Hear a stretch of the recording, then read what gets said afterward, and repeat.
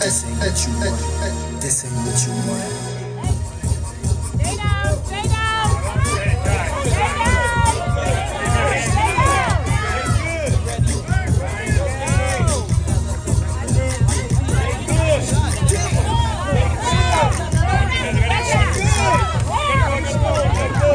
This is what you have April 22nd, T-Mobile Arena. Two unbeaten